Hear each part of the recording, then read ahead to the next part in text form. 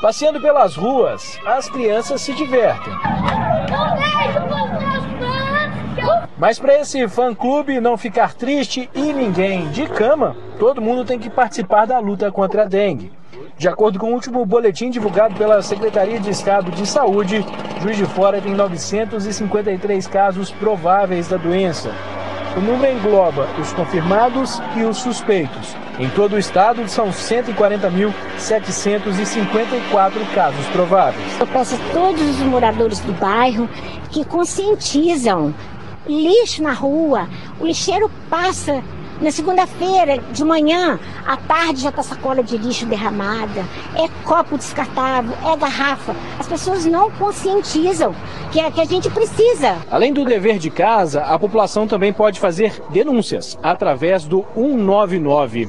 Uma intervenção em uma casa abandonada no bairro Santa Cândida está programada a partir de uma ligação dessas. Nesta terça-feira, o trabalho contra o Aedes aegypti foi no bairro Santo Antônio. Além do trabalho junto aos moradores, um ferro velho foi alvo da ação. É que é um local de acúmulo de material inservível, ferro velho, lata, garrafa, tudo. Então o que ocorre? Ele teve um prazo, nós fomos mantendo as vistorias aqui, né, que é um ponto estratégico, até o momento que nós, foi acionada a fiscalização, a fiscalização fez a interdição do local.